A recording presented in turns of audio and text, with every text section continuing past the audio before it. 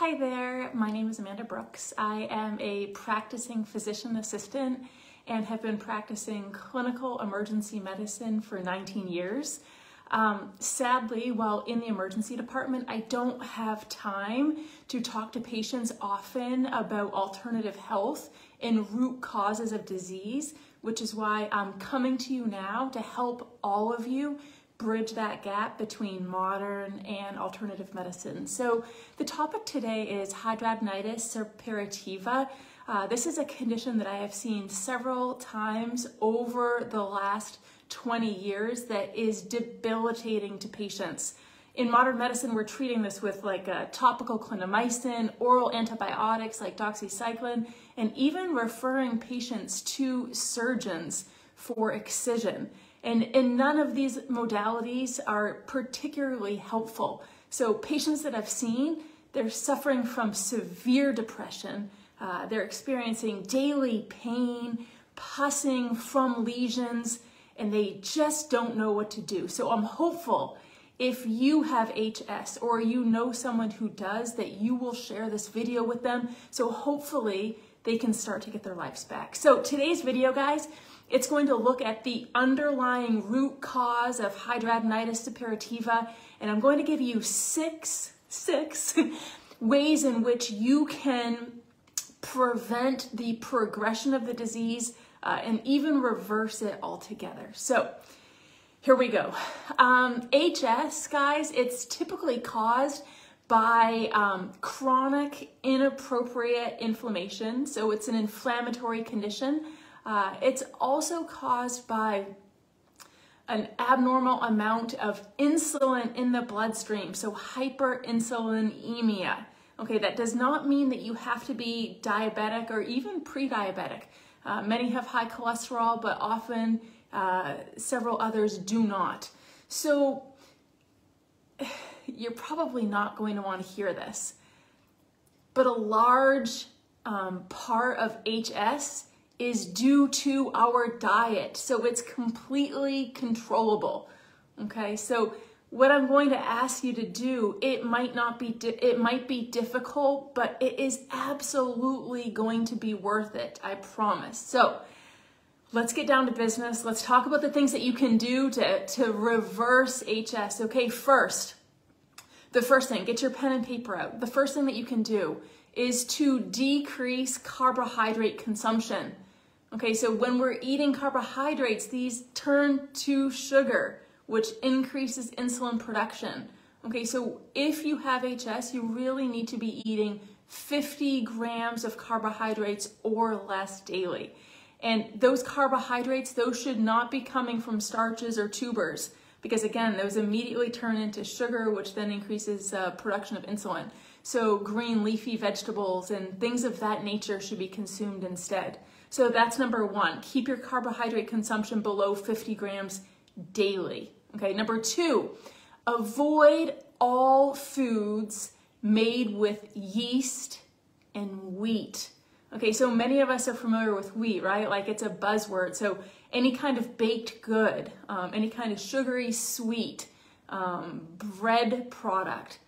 But yeast Yeast is in alcohol, most notably beer, so alcohol needs to go.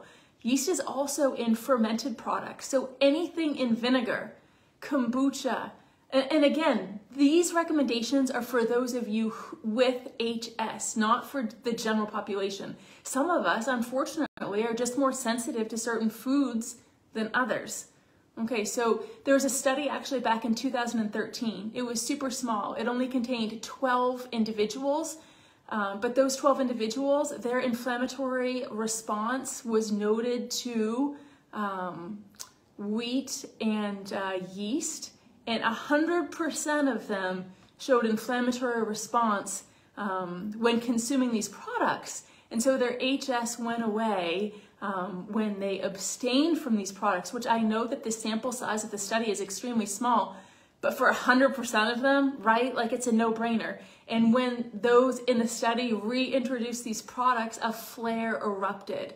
Um, so, eliminating um, wheat and yeast products. Um, sometimes uh, people are thinking that they're, they're uh, consuming Um, fruits is a good thing. I just want a side note here. Fruits and most often dried fruit, um, these are a no-no. You guys have seen sometimes in the grocery store that little white film over grapes or even the outermost part of a cantaloupe. That's like a wild yeast. So again, we don't want to be consuming those. So being very meticulous what's going in your mouth is going to definitely manifest itself externally. And again, HS, sometimes uh, those that aren't as educated uh, on the condition, they think that it's something wrong with like their sweat glands, their apocrine glands.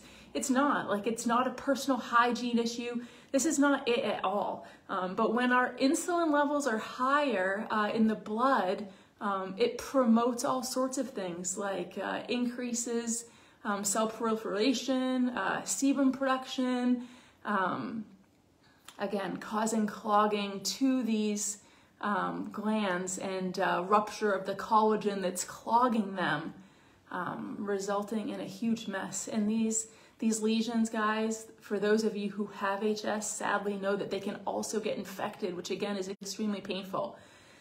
The third thing, avoiding all dairy. Okay, so dairy is high in the milk, sugar, lactose, um, which again will increase blood sugar, which will then increase insulin levels.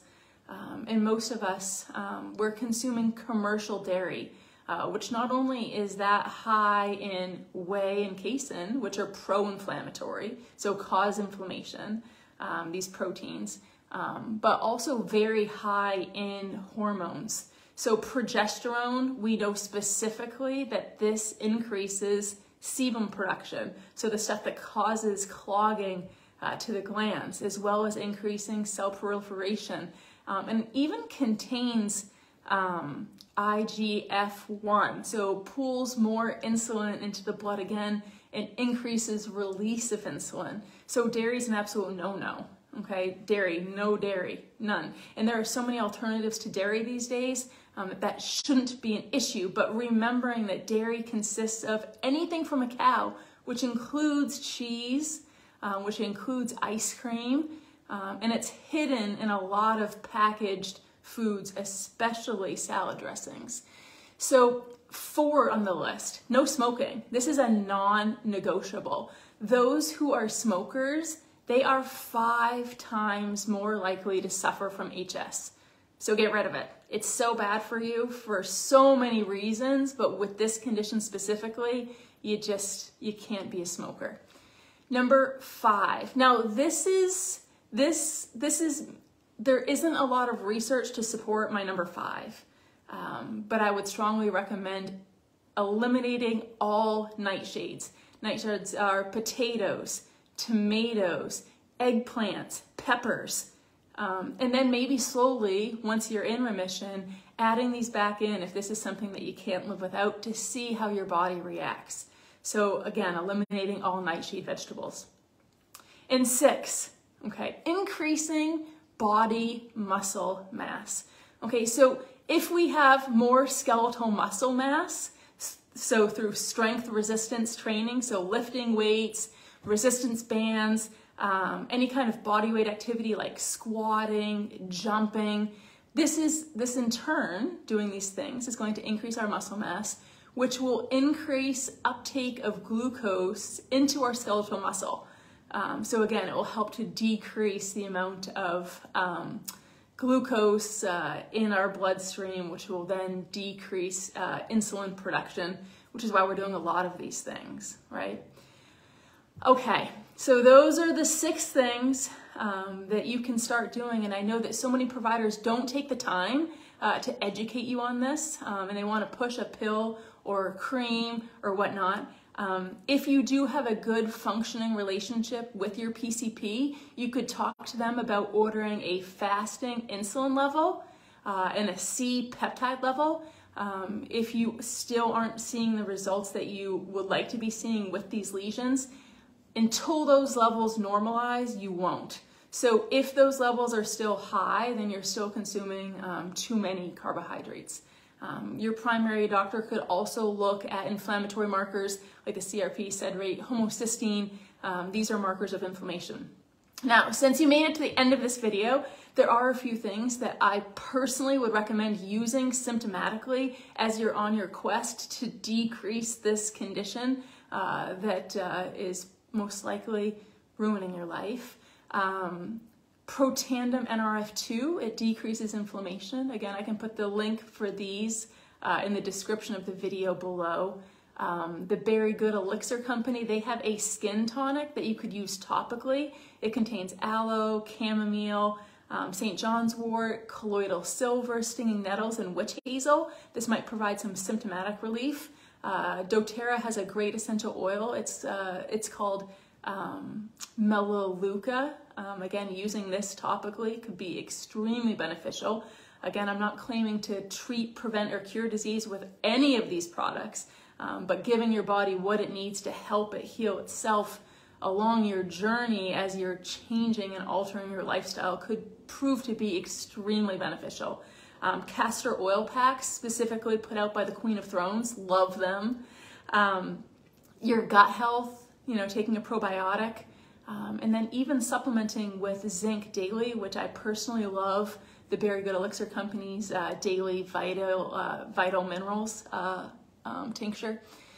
So, guys, I hope that you found this helpful.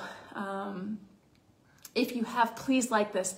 Please share this with anyone and everyone that has HS um, because I want you to get your lives back. Um, take care, be well, and we'll be in touch soon. Bye.